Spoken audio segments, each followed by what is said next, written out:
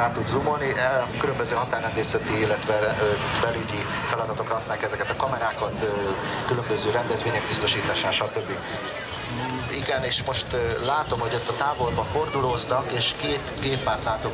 Most milyen mozdulat következik, Tibi? Annál több zajlik most éppen az égen.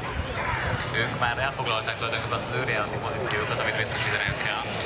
Természetesen azt kell mondjam, hogy itt a nézők számára mindent megpróbáltuk látványossá tenni. Ez az életben kicsit másképp néz ki. Nagyobb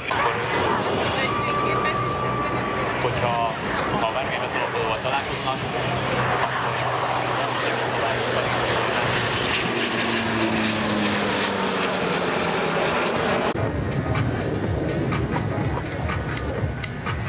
Ugye ezeknél a gépeknél is ezek nagy gépek, nehéz gépek, viszonylag nagy fordulási ívvel, tehát az, pálya végén, a repülőtér végén visszafordulni azért az teret és időt igénylő feladat.